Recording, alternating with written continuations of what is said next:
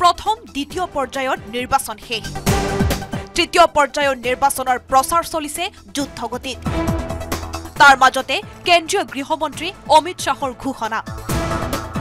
অসমত বিজেপিয়ে পাব কমেও বাৰখন আসন।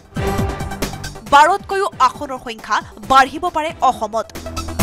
সোমবাৰে গুৱাহাটীত বিশাল ৰোড শ্ব কৰি মঙলবাৰে সংবাদমেলত এই ঘোষণা কেন্দ্ৰীয় গৃহমন্ত্ৰী অমিত শ্বাহৰ। আসাম हम कम से कम 12 सीट जीतेंगे ये तय है हमारी पार्टी इसके लिए विश्वास व्यक्त करती है कम से कम 12 12 से आगे भी जा सकते অমিত শ্বাহৰ সুৰতেই সুৰ মিলাই বাৰখন আসন জয়ৰ দাবী কৰিলে মুখ্যমন্ত্ৰী হিমন্ত বিশ্ব শৰ্মায়ো বাৰখনটো আমি পামেই আমি তেৰখন আসনৰ কাৰণে চেষ্টা কৰি আছোঁ মানে চৈধ্যখন হ'লে তেৰখন বুলি ক'লে কোনোবা এখনটো নাপাওঁ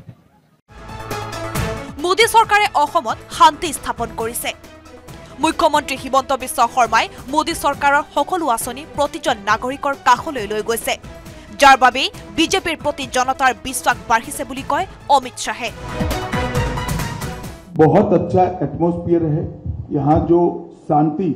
मोदी जी प्रधानमंत्री बनने के बाद प्रस्तापित हुई है जो विकास का वातावरण मिल रहा है सेमीकंडक्टर के इन्वेस्टमेंट को यहाँ आने से यहाँ के यूथ में काफ़ी उत्साह हेमंत विश्व शर्मा जी ने पूरे आसाम में मोदी जी की सारी योजनाओं को नीचे तक पहुँचाया है। ढेर सारे भूमि कब्जा के केसों को रिजॉल्व किया है और आज आसाम की जनता इसके कारण पूरी तरह भारतीय जनता पार्टी के साथ है। ইপিনে সম্পন্ন হৈ যোৱা দুটা পৰ্যায়ৰ নিৰ্বাচনত বিজেপি মিত্ৰজোঁটে এশতকৈও অধিক আসন পাব বুলি দাবী অমিত শ্বাহৰ জনতাৰ আশীৰ্বাদত চাৰশ পাৰ লক্ষ্যত বিজেপি বহুদূৰ আগুৱাই গৈছে বুলি ক'লে গৃহমন্ত্ৰীগৰাকীয়ে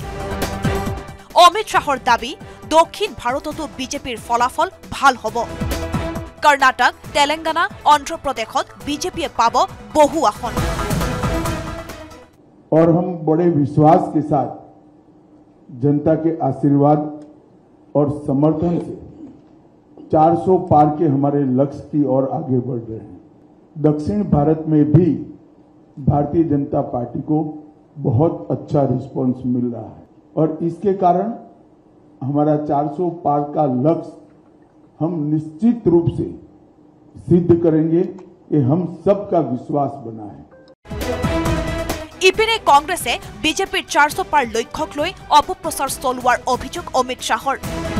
কংগ্ৰেছে জনতাৰ মাজত বিভ্ৰান্তি আনিছে বুলি অভিযোগ কৰি অমিত শ্বাহে ঘোষণা কৰে যে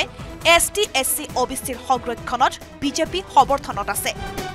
कि Bharatiya Janata Party ST, SC, OBC के आरक्षण की समर्थक है और हमेशा इसके संरक्षक के रूप में अपनी भूमिका निभाएगी। ये बात नरेंद्र मोदी जी ने भी कई बार सार्वजनिक भाषणों में स्पष्ट की एसटी, एससी, ओबीसी के आरक्षण में किसी एक राजनीतिक दल ने अगर डाका डाला है